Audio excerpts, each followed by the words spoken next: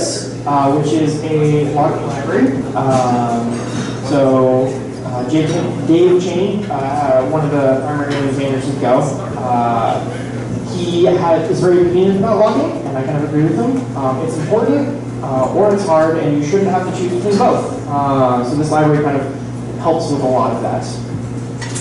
All right, so a little bit about Logrus. Um, it's structured and it's pluggable. Uh, and when I say pluggable, meaning you can actually replace it with the standard library uh, interface. It's super useful.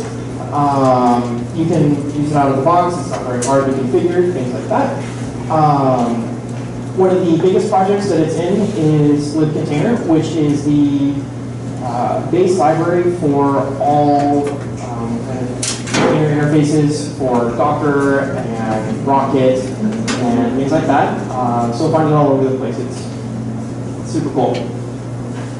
Uh, one of the cool things about Logrus is it has what's called hooks. And what that means is you can log to a destination. So for example, um, if you want to log to Postgres from your application, you can actually do that by configuring a Postgres hook. Or if you wanted to log to Scribe or Influx or Kafka, things like that, it's very easy. You just configure a hook right off the bat, and then boom, you're logging to a destination without having to deal with all of these uh, APIs and things like that. It's very, very easy to use. Uh, so built in, it has some formatters. It has a JSON formatter um, and a text formatter. Uh, the text formatter is equals value, so still pretty straightforward. Um, but it's also very customizable in that it defines an interface for what a log entry should look like, and then you can customize it as much as you want. That's kind of where the hooks come into play, and how it's easier to uh, log to destinations. All right, so one of the cool features is it has leveled logging, so for you Java people, it'll be great. Um, so there was some discussion about adding trace level logging um, as a proposal, but the general idea is if you're trace logging, then there's a problem and you should probably look at that. Um, it does actually have warn level logging. Raise your hand if you think warn level logging is useful. Oh, there's always one. Sorry, man. But uh, yeah, so some cool parts about it. Um, if you call the fatal interface, it just calls OSExit 1, which is great when you don't actually want to panic. But if you need to panic, you can just call log.panic and then, hey, we'll panic. So it's up to you to handle that.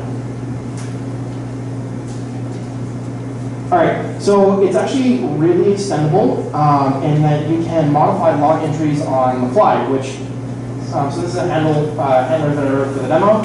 Uh, so if you look here, so locate actually calls um, one of the runtime uh, interfaces to get the file as well as the line number for where um, this action is occurring. There was a discussion to see if the Logrus um, library would add this functionality to the package. However, it was determined that it can be very slow to do this runtime introspection. So basically what we're doing here uh, when we go to log, and you can add contextual loggers, which I'll go to in a minute, um, we're adding the file name and the line number to this handler call, so that when we log it, we can say, okay, well, not only they come out on this handler, but they're looking for these specific parameters, which is um, a different aspect of whatever our program is doing. So it's very useful in that regard. Uh, one of my favorite features about this is that it's contextual. So you can pass around loggers with various contexts as you go along. Um, super useful for web servers, tools, things like that. Um, so for example, in the base logger, we're defining, all right, you always have to have a common field, and you should always have some extraneous field. And then when we go to pass this logger around, it will log with the common and the other keys. So it's pretty sweet, very wonderful. Um, and it's a logging library, so there's not a whole lot to talk about um, because it's a logging library. So I'm not sure about that. Um, there are a couple extra tools um, you can use for this. Uh, log format is one of them. Um, if I don't remember who it was, I'm sorry, but whoever talked about the Cobra command line, the same person that wrote that wrote a tool that uh, will allow you to configure Logrus from the command line uh, with Cobra. So it's really cool. And then Um, Dave Cheney has a couple thoughts on how logging should be done, as well as exceptions and things like that. Um, and that's kind of about it. Are there any questions? Yes. So, um, some of the walkers out there, like we just have the ability to infer the actual valuation of parameters in case the walker is disabled. So the question was, to make sure I understand this, some logging packages have the ability to defer, which part? The evaluation of the parameters. The evaluation of the parameters. I don't think this supports that, to be honest. In fact, So for the, each of the hooks looked like they were all HTTP based. Uh, does that mean all it's doing is reaching out, making an HTTP request and continuing on, or?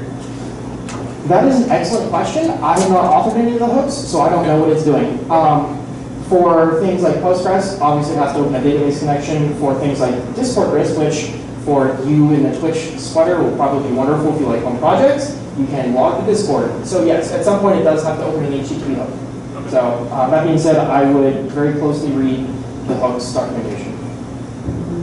Yes. So the context that passes around with the logger, is there any way to know what context you're going to have at any given point? Or check it? So the question was, uh, when you are passing around context, is there a way to track the context? Is that correct?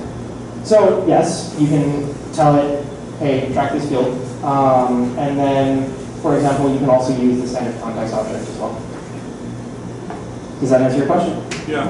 Okay. Anybody else? Cool. And that's it.